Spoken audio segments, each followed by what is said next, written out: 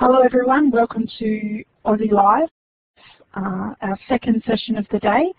Uh, the, in this room we have Julie Lindsay, uh, who is going to show us how to flatten our classroom using her recipe, which is fantastic and I'm really excited about today and the events to come. Um, Julie is an educator that travels the world sharing her recipe for flattening classrooms. Um, currently she and I are only about 10 minutes away from each other because Julie lives in a coastal town um, near my hometown so it's great to be close to someone uh, in, in our world. Now I'd like to say thank you to our sponsors and supporters for helping us with OZeLIVE. Uh, Blackboard Collaborate, Steve Hargadon and the Learning Revolution, and the Australia E-Series are, are, bringing you this session. Uh, Cyber Academy has sponsored us, which is fantastic. And also Coach Carol and Shambles, our technical guru who helps us out a lot, are also supporting the event. So thank you very much to all those people. Now, what I'd like you to do, if you can, you can see some little icons on the left. If you just uh, grab one of those icons and place it where you are in the world on the map and it can show us where we've got listeners from right now. So to grab that icon you can just go to the right hand side of the screen and click on the arrow object to select your object and just drag it across. Okay, permissions are there.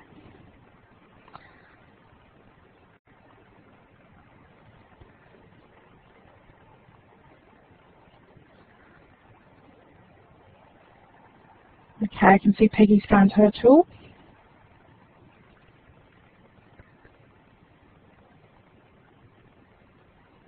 Great, lots of smiley faces popping up.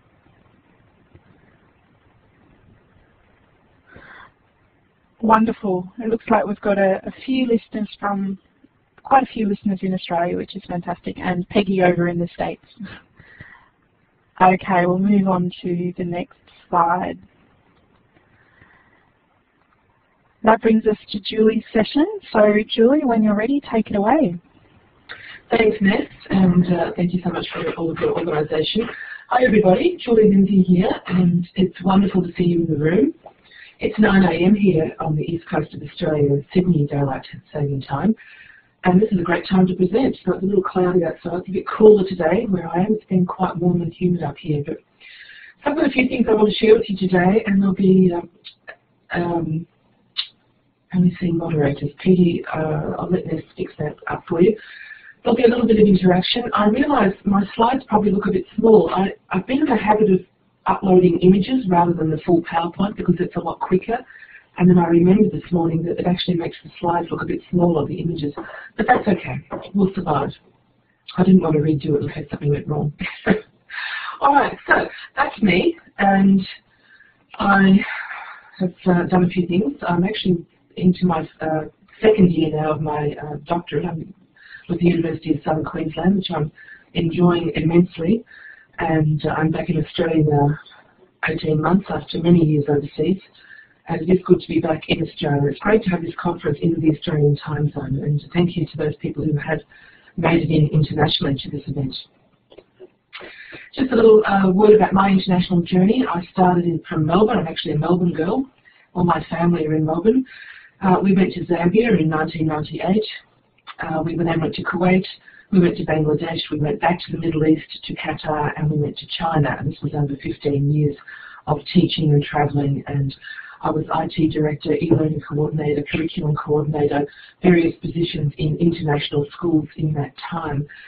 And it's just wonderful to come back to a place like Ocean Shores, where after living in mega cities like Beijing and Dhaka, uh, you really appreciate what we have here in Australia is so much more. But you know, we must ask ourselves why go global? And that's my daughter when we lived in Qatar, uh, all of our flags there. So really going global is learning about the world with the world. And it's something that we need to think, well, we don't actually have to leave anywhere. We can actually do that from our desk, as we're doing now, from our desktop and uh, we can take our students global from our classrooms. It's just a matter of knowing how. Welcome to those people who are popping in. Great to see you. So I'd like to go over some simple actions to go global. If you want to have a flat, global and connected classroom, these are the actions that I suggest you can take to start to move in that direction. And they can be called actions or they can be called steps. I'm calling them actions today.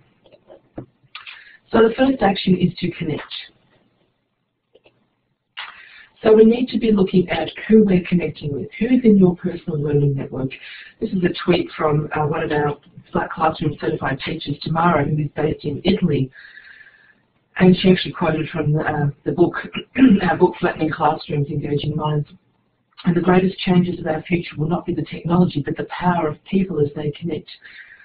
And it's putting in the time. It's that people now, Saturday morning in Australia, putting in that time uh, not to sleep, not to go shopping, but to be here at this conference to make connections, to make valuable connections, to hear a little bit about what I'm saying, but more importantly, to reach out to other people who are in this room and say, well, hey, what are you doing? Uh, maybe there's something we can do together.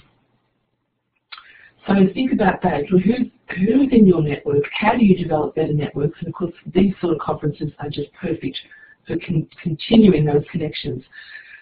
And then we need to look at, of course, what are the technologies that we're using to cement those connections and to keep the information coming to us. of course, RSS uh, technology, where we can syndicate our uh, material, the stuff that we do, and that we can aggregate other people. So we bring the information, we pull it to us, and then of course we push our material out there. And we have a number of ways to do that now, including RSS readers, uh, social bookmarking, um, networking organisations, etc. So think about how are you getting your hands on the good stuff? How are you getting your hands on the information that you need to know without wasting time going out and searching for it? Thank you, Peggy. Thanks for that. So we need to look at strategies for meaningful interactions. How are you connecting yourself? Then how are you going to connect your school? And how are you going to connect your students. So it becomes a, a process, uh, being personally connected. And sometimes you might feel, perhaps you feel like you're the only connected educator in your school. And I know what that feels like. I've been there many times in the past uh, with that sort of isolated feeling. But of course you don't need to be isolated anymore. With technology you can connect with anyone, anytime. And even if people in your immediate vicinity aren't particularly connected yet, uh, you can still have valuable experiences and interactions.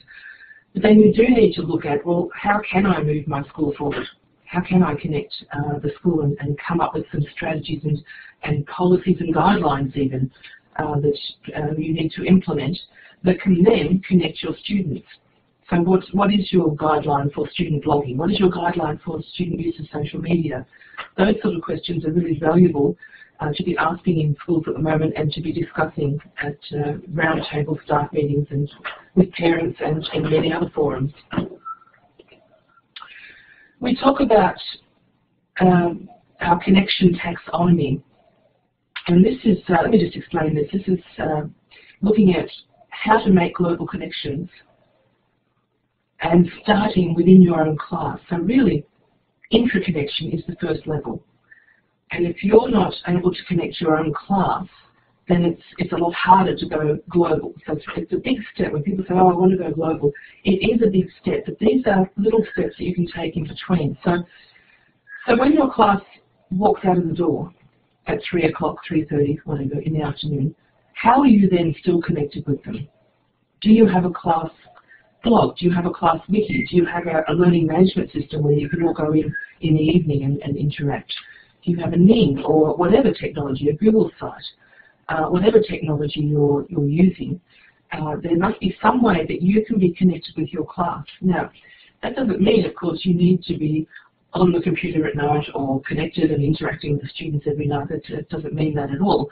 But it does mean that the students need to be able to connect with each other. They need to know where uh, the conversations are and the material is for the learning objectives at the time and setting something up, you know, a simple class wiki. I, used to run a wiki-centric classroom for many, many years, and it's just, it's that thread of connection. So once, once you've established that, you then start to look at, well, how can I then connect my class with other classes? Now, it could be the class down the hall. It could be the class in the school down the road. It could be the class on the other side of the country. Uh, but it doesn't have to be that far away. But you need to work out, well, how can I now connect two classrooms together? Uh, and then perhaps three, etc. And then you need to look at level three. Uh, how can I then create a meaningful global interaction and global collaboration that is managed uh, where we connect a number of classrooms together and what is that going to look like and will that be a different toolkit or a tool set etc and what are the expectations on students and teachers so once you've sort of got that organised then you can start to look at connecting uh, classrooms with um, students to students and students actually taking on some leadership roles as well so level four and five sort of start to blend into that student leadership, student uh, personalisation of learning, taking ownership of learning in a global context. So you can see how this hierarchy or this taxonomy of connection is, is quite important and, and, starts to break down this whole, uh, oh, it's, it's a big thing to go global. So C.S. Lewis once said the next best thing to being wise oneself is to live in a circle of those who are. So and I'm really fortunate this morning to be in a, a great circle of those who are wise. Thank you to the people who have just uh, come in in the last few minutes. And this is just a diagram uh, that I use to show uh, how one of our projects in particular uh, is organised with student teams, student cross-classroom teams. These, these teams are across the world, of course, uh, and the circle of the wise is extended by including uh, researchers, pre-service teachers, expert advisors, keynote speakers, judges, etc. So it's not just teachers and students, but it is a, an extended community. At the moment, we've just kicked off a, a newly designed Flat Connections global project, which has classrooms around the world. And I'm in uh, lots of wonderful conversations with pre-service educators who are building into their course interaction with this project. So they're actually putting it into their curriculum that their pre-service teachers need to become expert advisors and judges, interact with um, uh, high school students and get to understand what meaningful global collaboration looks like. Hello, Coach Carol. Thanks. Just looking at the comments. Thank you. Okay. All right, the 60 second challenge. I'm going to put a timer on. Uh, I would like you to respond in the chat, thanks. How connected are you as an educator? How are you connecting your students to the world?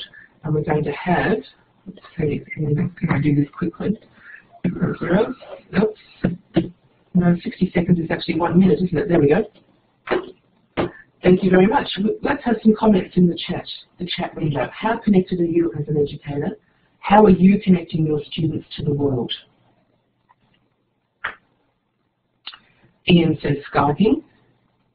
How else? Is anyone using Wikis? Is anyone using Google Sites?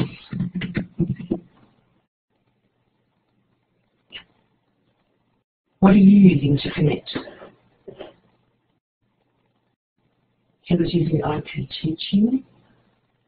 Juanita's using Moodle. Peggy's very connected through Google Hangouts. This is um, a GAFE person. Good.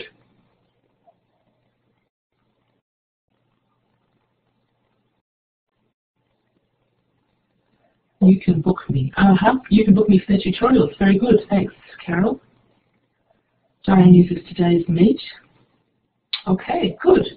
All right, so it's a variety of tools, and it's not all about one particular tool. There, it's about the best tool for you and your students and your network. Let's move on. Step two, or action number two, is to communicate. It is Peggy. Blackboard Collaborate is an awesome tool. I love it. Okay, so there are two types of communication that we need to think about. And often people say to me, I want to Skype, I want to have that, that real-time connection with a global classroom, someone else that doesn't look like us, doesn't sound like us, etc. And that's great. And synchronous communication really fosters engagement with students and excitement in the classroom. And it's, you know, you can talk about it for days, what they said and what we said and what they look like, etc. But, but when you want to sustain a global project, synchronous communication isn't going to do that. So we need to look at asynchronous communication as well.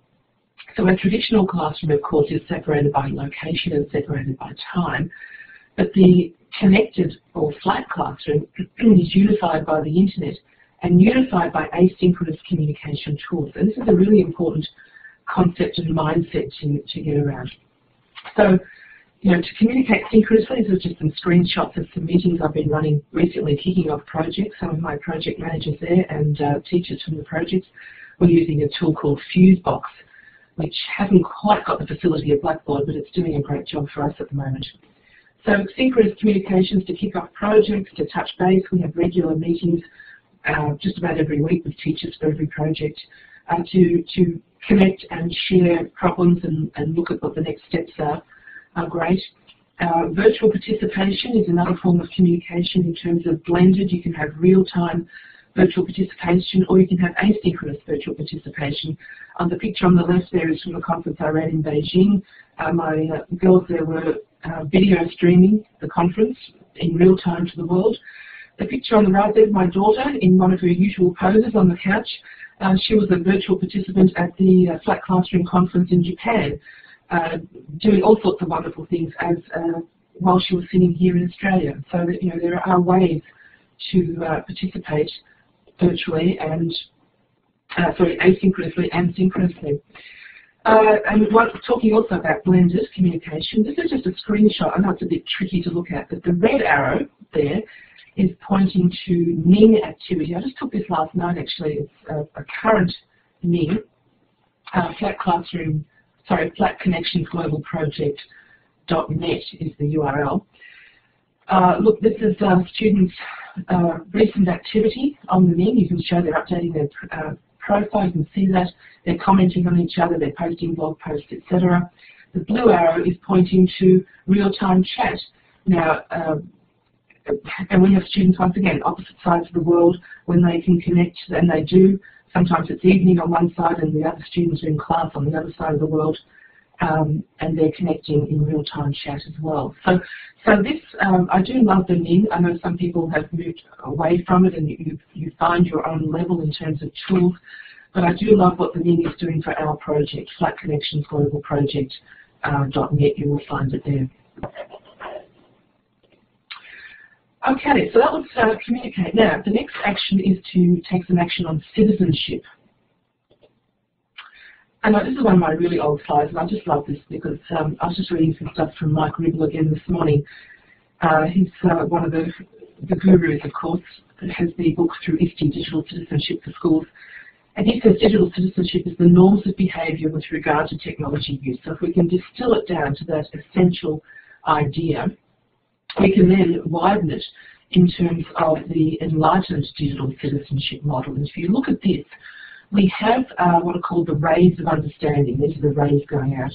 Uh, and these are the essentially the, the work from uh, Mike Ribble, who's been influenced by his, very much by his wonderful work. So you've got your safety, privacy, educate, respect, etc. But then areas of awareness. We need to, of course, have technology access. We need to have technical awareness, individual, social, cultural and global awareness. I think this is where uh, the, the edge is in terms of global interactions and global collaboration. So you need to have that global understanding as a digital citizen in terms of uh, what people have access to, uh, what some of the uh, uh, different countries and political systems uh, have, are doing around the world so that you understand how you can connect so, you know, how you connect with China, for example, you, you won't be connecting with China using a whole Google Apps setup uh, because um, it's blocked. So having that, you know, just, in, just as a very simple example, uh, the, the cultural, of course, cultural uh, area of awareness and understanding how to communicate with people from other cultures while you're working online. Uh, what, what are appropriate conversations? What, what would be a taboo conversation? For example. So these need to be embedded into conversations to do with digital citizenship that you're having with students, that you're having with colleagues as well. Okay, so this is a, a shot from our conference in Beijing where we had uh, we had students come from Oman and all different places to to um, to Beijing. So we're talking about citizenship, global competency and confidence, you know, building that, that competency, that understanding about what it means to, to meet people face to face and be able to converse and work with people and building that confidence that you, you understand other cultures to the extent that you are able to interact and learn more, you know, have that confidence to ask questions. Just a word about our Digiteen project. Flat Connections, we run a, a, what's called Digiteen or Digitween uh, for the younger students. And this is where we take digital citizenship uh, into action. So we have uh, teams, cross-classroom teams. Teams introduce each other, uh, each introduce themselves through what we call handshakes. Uh, they research digital citizenship topics based on the Enlightened Digital Citizenship model. Uh, they collaboratively uh, author a wiki with the research that they, they've done. Then they design an action project and they implement this action project in their school community. And of course we have celebration, reflection and sharing of outcomes. So this is a 12-week project and this is the essential design of it. So once again, as you're thinking of uh, how you're going to flatten your classroom, the, uh, the recipe, the steps, the actions, etc., uh, this is a, a simple representation of the type of planning that goes into a sustained uh, global collaboration. This project has about mm, 350, 400 students in it at the moment, I think. And digital, once again, digital citizenship action. Uh, some of the outcomes from uh, these projects are just wonderful. I looked at a couple from last semester to, to show you uh, this morning. So students from a school uh, over in the States developed this Minecraft game to, to, teach etiquette and respect online, and they actually did a, a screenshot of it, uh, uh, sorry, a screencast, uh, walking people through Minecraft to show them how they could learn about etiquette and respect online. Um, yeah, Peggy, the Digiteen name doesn't exist anymore. You need to go to uh, flatconnections.com and you will find under the Flat Projects link a link to all of the archives. Okay, yeah. And uh, another example, students put together um, a video and some information to share strategies to overcome cyberbullying. So, uh, so there are many different ways that students can actually take the material that they've researched and interacted with other students around the world and bring it back to their local community uh, in terms of actions, running assemblies, running lessons for other people, uh, creating games, creating videos, etc. So another message, of course, is to be a digi teacher when we're talking about digital citizenship, to actually take on this role uh, of being a digi teacher uh, as part of this flattening classroom approach. So being able to research the technology and lead the way in some form. You know, I know we we are constantly battling because students are always seem to be so far ahead of us in terms of facility and flexibility with the technology, but but they're not really. It's really us as educators who need to lead the way in terms of curriculum and pedagogy. So it just in, involves knowing a little bit more about the technology. For example, being able to um, encourage students to create a mine, Minecraft game, uh, I think is, is very commendable. And I know that teacher perhaps didn't know a lot about Minecraft, but the results from that project were wonderful.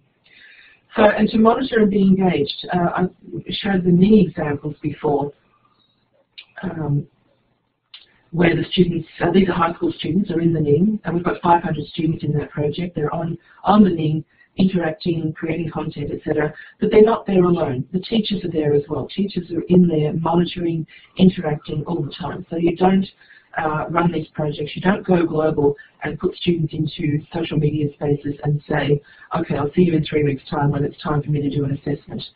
Okay, it's very important that you're actually in there with them and uh, and building into that your assessment some some sort of um, you know uh, pattern or contribution uh, requirement for those spaces.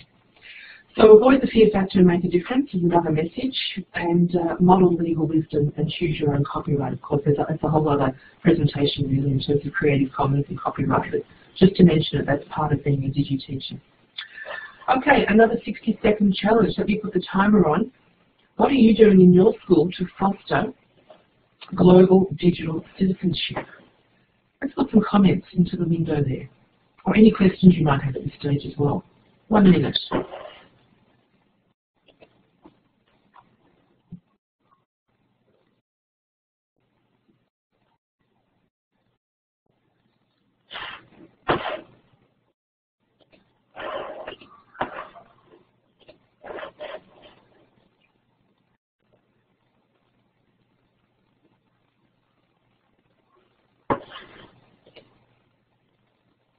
Okay, so is using Twitter to teach about accepting followers, classroom conversations about safety online. What are other people doing? And I'm just trying to find this URL. I'm going to give this URL.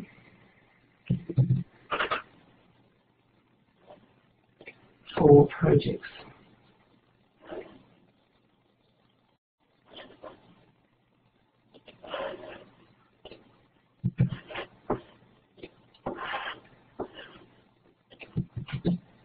Okay, my mentor is teaching digital literacy skills to remote regions facing face-to-face and online training. Great. Diane's going to have a whole day focusing on global technology cyber safety. Excellent. Okay, so grab some ideas from what other people are doing. Carol's talking about digital identity confident, confidently and safely, confidently and safely. okay. Steve's talking about an ongoing conversation in a course called Life Matters that students participate in all year. All right, great. Okay, all right, let's keep moving here. All right, so our next action uh, is to collaborate. And of course, you know, collaboration is something we do already. It's more than cooperation. Uh, collaboration, once again, is a whole other com big conversation we could have, just mentioning it here. We do align it with standards. Many of the standards, including the ISTE standards, teachers and students and administrators talk about collaboration. And of course today it is enhanced by using technology. But collaboration must start with contribution. If we don't have contribution, we don't have collaboration. Of course, in, a, in an asynchronous or a virtual context, uh, we need to see people contributing. And this little cartoon says, you know, I can, I can prove that you do not exist in the world uh, do you answer your emails, Facebook, instant message, blog, etc.? And this little boy says, no, but you can see me, can't you? Well, of course, she walks out of the room, which is like being on opposite sides of the world. No, we can't see you. If you don't contribute, if you don't blog, if you don't uh, do something in an online capacity, uh, you're not contributing, and therefore you can't collaborate.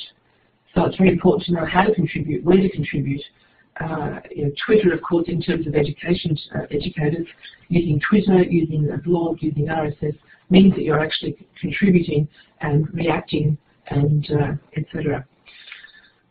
So Slightly in the Classroom is really technology-enabled collaboration.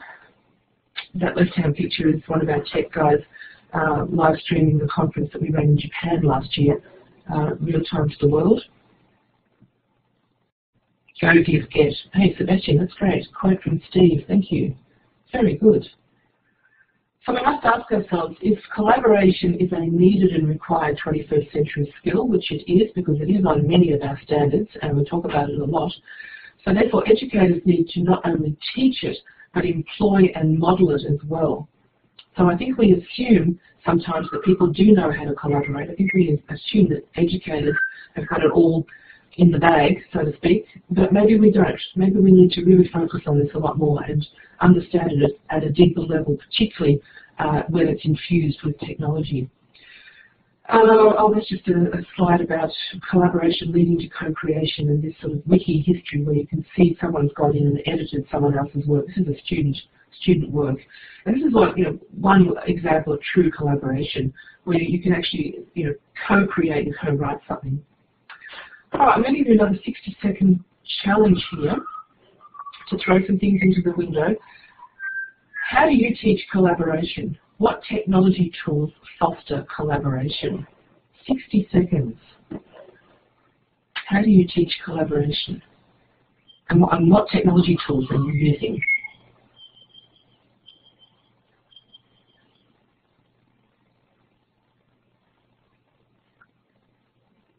Welcome, Anne. Thanks for coming in. Oh, she's coming and gone away. That's okay. Google Apps are great. Oh, she is. She's there. It's good. So using a single Google Doc for students to brainstorm on Google Drive. Um, has anyone used a tool called Padlet? Um, has anyone used a tool called Etherpad? Uh, and of course, my old favourite, I'll keep bringing this up, the wiki. Yep. Oh, VoiceThread, of course, thanks, Dan. Those audio and multimedia tools are so important. Um, Symbaloo, uh, not Symbaloo, the other one. Um, I've got a slide coming up with a tool and I'll show you a minute. Okay, great. TitanPad. Okay, I'm going to use that one. That sounds good. Alright, so let's keep moving along here. I do want to hear some of your voices towards the end as well, not just mine. Choice. so if we were to choose a piece of fruit, which one would we choose? Depending on you know what we really, our personal choice, our what we really like to eat, etc. So Mark Twain said, beefsteak, oh, that should say beef steak or liver, not of liver, sorry about that typo. Beef steak or liver quite took away Philip's choice of power. He begged for a glass of milk. Couple of typos there, but never mind, the message is there. So it's widening the choice and putting choice into the classroom will naturally direct students toward their own interests and strengths. It can allow students to shine in unimaginable ways. I have a room full of, of wonderful educators here. You, you know exactly what I mean. And you also know that sometimes you're not able to give choices depending on the situation in your school or depending on the situation of the curriculum that you're teaching, etc. But the aim for a flat classroom is to give as much choice as you can in terms of uh, learning spaces, that means physical and virtual spaces, and choices for technology and choices for learning outcomes. So we can use Web 2.0 technologies uh, to give different choice, you know, give students choices in terms of how they question, how they build, how they invent, how they connect, how they have meaning and make meaning by understanding, and how they can excel. And I think, you know, in the last uh, 10 years, really, it's almost been 10 years where Web 2.0 has really been in the classroom. It has just opened up horizons in so many different ways. And it's really, uh, you know, if you're still struggling with your IT department and you're still working uh, and learning in a more lockdown environment, uh, you need to keep those conversations going to open up as much as you can and to, to get these uh, so that you can immediately, fluently uh, go to a Skype call, go to a whatever you need in your classroom to connect uh, with you and your students, with you and other students as well. uh, choices for different learning styles. We run a, a project called K2 Building Bridges to Tomorrow, and this is an image from one of the teachers who was in the project last year, uh, where she introduced voice threads to three and four-year-old nursery students. This is from Phuket, of course, and it's just, you know, we, we took this project on a couple of years ago uh, to look at how how students at that young level could actually connect globally and co-create things and collaborate. And of course, VoiceThread, having that as a choice is just such a wonderful uh, opportunity for students to, to have a voice without having to rely on a text-based communication. And this goes for any age, of course, but this is a good example at this age level. All right, so we're up to create, and it's almost morning tea time. They look good, don't they? The next uh, action is create, and of course, uh, Bloom's taxonomy, we know the revised Bloom's taxonomy where create is the higher order thinking, and of course if you look at the work of Andrew Churches, uh, um, was it edorigami.wikispaces.com, Andrew's got some wonderful uh, material there for the digital Bloom's taxonomy that you should take a look at as well. But I ask you to challenge yourself to move from create to co-create. I mentioned this already. it's not just about you creating, it's what you can create with other people, what you can co-create and what that feels like. And sometimes that feels uncomfortable because you want it to be your own work. I know as as, a, as an educator, uh, you know, sometimes I want it to just be my own work. and But other times it needs to be work that I've co-created and I need to make allowances that other people have opinions as well and that maybe my work can be improved by the uh, interaction with others. And I've seen it time and time again. how together we can build something stronger than, than just one individual. So it's, it's a good message to, to talk about with your students as well, how you move from creation to co-creation. Oh, this is the one I wanted to show you, the Popplet. Popplet's a great little tool. You can't really see those words, but it's a, a mind mapping tool, but it's online and you can do it asynchronously and you can co-create something between classrooms that are not, you know, face-to-face. And we use this in our A Week in the Life project, grade 3 to 5, as a brainstorming tool at the start of the project. It is wonderful. I really love it. So once again, this whole idea of co-creation, Emily McCarren is based in um, Punahou School in Hawaii, which is a workshop there last July. And she created this little diag diagram about co-creation. So it's about um, bringing the world in and looking in and then looking out and going out, creating and working with uh, different people. So I just like to share this little, little diagram here to help us get our head around what this is. Uh, just more examples here, a Week in the Life project, co-created voicethread. So once again, students would uh, share multimedia. For example, the top left there, the housing team shared images of, of housing in their different countries, their different areas, and then students got to respond via VoiceThread to say, oh, that's interesting, we don't see sloped, sloped roofs or we don't see wooden houses, etc. So, so you know, by sharing and then interacting uh, as, a, as a reflection and response part of the project, it was a very valuable learning experience. Once again, enhanced by Web 2.0 tools. Okay, up to the last uh, action here, which is to celebrate so you've done all of this hard work, lots of hard work, putting together a global collaboration, flattening the classroom, joining students and teachers, uh, intercultural understanding, etc. So it's time to celebrate. And one way that uh, we foster celebration is through student summits. Students actually come into a blackboard, that's a, a screenshot of a blackboard meeting. Uh, this is a little boy, a grade four boy from Nepal, uh, who came in and uh, the students had hand-drawn images to represent their involvement in the project. The teacher scanned them and brought them into Blackboard, as you can see there, and the, the, the students talk for a couple of minutes each about their involvement. And it's just a wonderful experience to see it at grade four level, and then of course we, we do it at the high right up to the high school level as well. And to build this competency amongst the students, they, they are confident speakers in a virtual capacity is, uh, is a really good goal. So if you have access to Blackboard, or if not, you know, even not, there are plenty of tools out there. I do believe Fusebox, the one that I use, is, is now freely available. And there are other tools that you can bring students into. And you know, consider running some meetings at night, perhaps with your older students. Say, well, I'm going to be online at 8 o'clock tonight, come in and we'll, we'll talk about the assignment for 15 minutes and just get them into that habit of being connected, not connected all the time, 24-7, but just being connected in different ways to you and to uh, their learning, basically. So of course we celebrate different things, and there's just that's just a few of them. And uh, you know, making the world a better place, I think, is really should perhaps be top of the list, not down the bottom there. But uh, you know, this enhanced understanding that we have through global connections.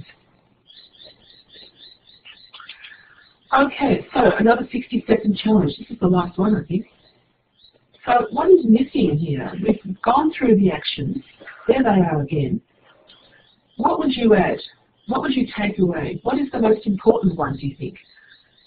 How will you use this in your classroom or in your school on Monday morning? Is there anything here that you're going to go to school on Monday and say, look, Julie said this, I think we should talk about this. Is there anything particular that resonates with you? I'm going to start the timer.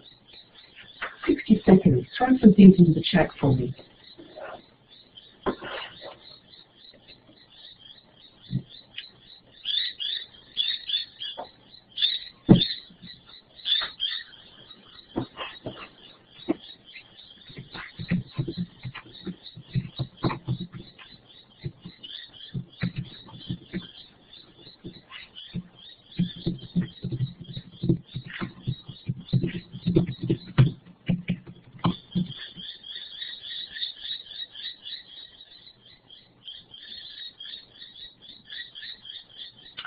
This is going to check out how you can get better hardware to allow Skype, yeah.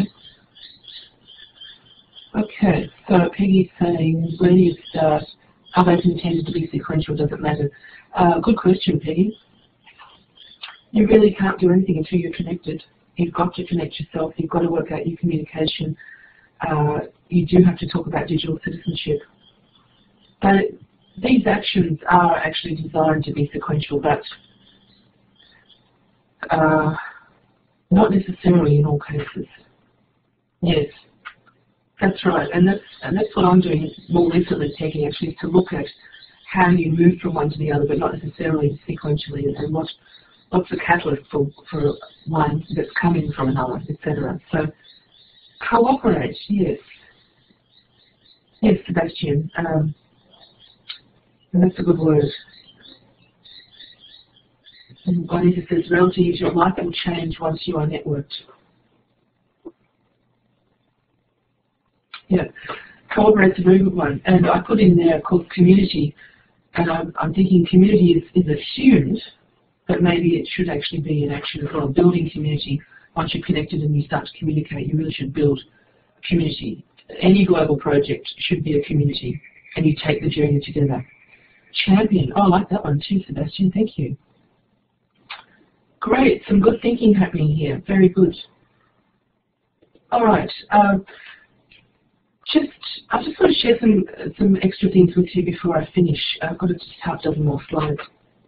Just to let you know about the Flat, uh, Flat Connections Global Project, if you haven't looked at this before, just as examples of things that are happening in the world at the moment, and we have projects, as I said, from K to 2 all the way up to the High School Flat Connections Global Project, uh, the Global Youth Debates one, that one in the middle, is an asynchronous formal debating uh, project. We have uh, classrooms, once again, from different parts of the world who use VoiceThread uh, to do a formal debate. So one class would do their um, five-minute talk, and then in the next 24 to 48 hours, the next class would uh, respond, and then the other class would, etc. So it takes, we actually give them three weeks to get through a whole debate, and then we have a week of judging, and then we do the next round. Okay, so it's an amazing, amazing thing to see, and you can see that at um, uh, Global Youth Debates, uh, globalyouthdebates.com. Oh, there it is there, of course, globalyouthdebates.com. So these are some of the teams that we've had in the last 12 months or so uh, debating. And you know, if you do debating in your school, it's something you might like to consider coming and joining us or creating your own environment, your own uh, project where you do uh, this asynchronous style debating. We actually put the, the classrooms into Edmodo as well, so they get a chance to connect and do handshakes and get to know each other uh, in that um, in that tool, that uh, community tool Edmodo. The other one, okay, from Japan. Um, yeah, I can't remember. It's cool. I don't think it's that one. Um, the, the other project I've been talking about, of course, is the Flat Connection Global Project, and it's a concept mashup. Because we're using the Horizon Report, the K-12 Horizon Report, uh, mashing it up with uh, David Price's book, uh, Open. And David's got some great messages in terms of opening up education, opening up learning, uh, opening up the world, etc. in his book. We're doing a webinar with David Price in a couple of weeks, uh, a free webinar that you're most welcome to uh, to attend as well and interact. The students will be there and the teachers and, uh, and David as well. But the whole point of um, any of these projects is that, you know, to flatten your learning, teachers are really the core. Now we say that students are the core. Well, we know we know we're, we're only here for our students, but teachers are the core in terms of community collaborative learning. It's, uh, until the students become older, the teachers really have to have to manage and direct, direct this. And then, of course, the students become mixed up across the world, and then we have this extended community. And we need to build working relationships uh, as we build, as we flatten our learning. Oh, here we go, one more. I'm giving you one more here. So, I've shared with you our Digiteen project in terms of digital citizenship, Flat Connections Global Project, we're mashing up the, uh, you know, how do we open up learning, open education with the emerging technologies ideas. Uh, the Global Youth Debates is based on debating. Our topic actually is, is on sustainability at the moment. But, but what are you thinking about? What is an inspiring, challenging, relevant and global topic or theme that you that you would like to use to join classrooms and learners across the world. Right, so let's start.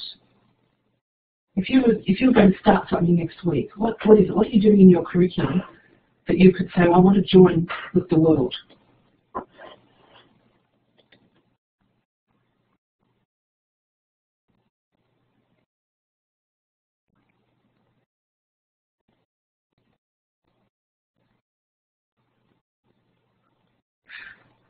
This says current theme of beliefs, right? Yeah, Juanita says it can never go back to the closed door. No, it, it can't. It can't go back to the closed door. I know my friend Anne in the room, Anne Mirtschin, none of us could ever teach with a closed door again, could we, Anne? It just won't work. And probably many others of you in the room as well. Put your Twitter handles in, please. Yes, thank you please share Twitter handles and uh, perhaps you know if you're teaching mathematics or social studies or humanities or whatever, start to reach out and connect.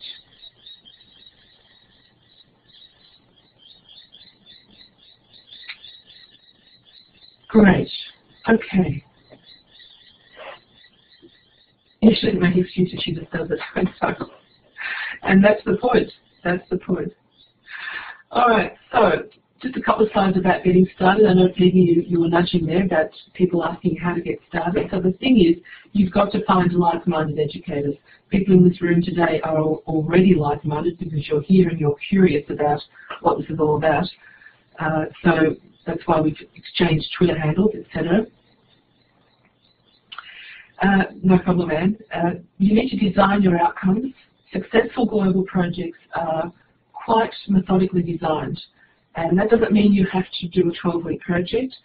Uh, it means that you just have to make sure you and the other person or you and the other people are on the same page and you know that in four weeks' time you're going to be roughly in the same point of the project. Okay, That's, uh, that's really important.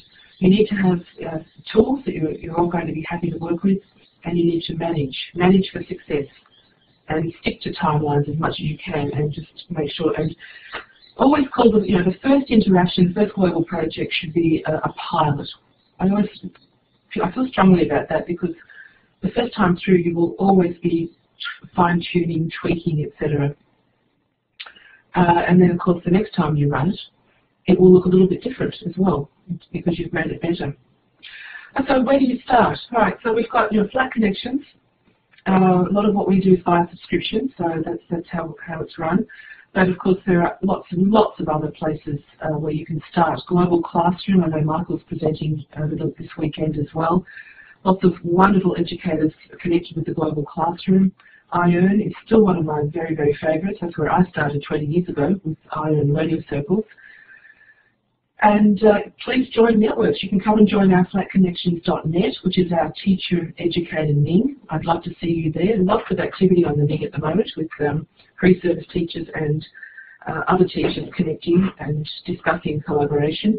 And of course, Global Education Conference Ning is another great one. And uh, if you've got any others you'd like to recommend, uh, please put them in the window as well. But it really starts with uh, perhaps joining something like an iEarn Learning Circle or a flat connection project or connecting with Global Classroom and finding a project, uh, they've got many listed on their wiki there, um, and just seeing how it's, it's run and then starting to think about, well, that was great, but I really want something to fit in with my curriculum, so therefore I'm going to do this next semester or next year or whatever. And, and I'm going to join uh, Global Education Conference Ning and reach out and see if I can find a like-minded educator who will do this with me. Great. Okay, good. Just a, a quick mention about the uh, conference in Sydney while I've got your attention. We're running a, uh, a, live conference in Sydney. Anne Mirtschin will be there with me as, as well as many other great facilitators. It's at the Shore School, June the 18th to the 20th. And if you go to flatconnections.com, it's right there, the link to the conference. We'd love to see you there. We're bringing students and teachers and it's a process-based conference, and it's it's about global project design. It's about action projects for students. It's uh, it's about uh, alternative pedagogy and approaches to learning that will flatten your classroom. So if you're really hungry for some more and for something a little bit different, I know there are lots of conferences in Australia and in the world, particularly in Australia at the moment. Uh, but this is uh, quite an opportunity to join some of these wonderful facilitators at this event. And uh, that's the book that I uh, co-authored, Flattening Classrooms, Engaging Minds. If you're interested, that is available uh, on Amazon and as a Kindle version as well. And there's some links to do with Flat Connections, learning about the world with the world. Flatconnections.com, flatconnections.net is the teacher network. Any questions? We've got a couple of minutes, I know, before we want to dash to the next room. Any questions or comments? I welcome them. Thank you. Thanks, Julie. So if you have a question, you'll notice at the top of your screen where it says participants, you'll see a little hand. So if you have a question, just raise your hand and we'll call on you. Uh, otherwise, you can type it into the chat.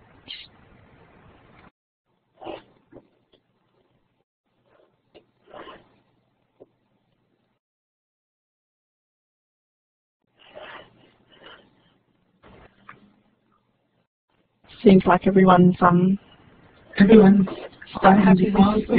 no questions. to hop to next room. That's fine. No problem. It's been great. It's been great to be here, and uh, I'll be back again at midday tomorrow. I've got another presentation, uh, a keynote presentation midday tomorrow. But have a wonderful weekend, hopping in and out of these sessions. And uh, thanks very much. And stay in touch. Please get in touch with me if uh, if you want to know more or just connect in any way. Thanks, Ness, for all of your work. And everybody, thanks. Bye for now. Thank you so much, Julie. Thank you so much, Julie. That was a fantastic session. I've taken more away from it to um, take to my classroom, so I thank you very much for that. And thank you to everyone for attending. We have another keynote session starting in about eight minutes with Nancy White, a fantastic presenter. Uh, so if you're interested, pop over there. And all you need to do to finish the session is to click out of your session. Thank you very much. I'll stop the recording now.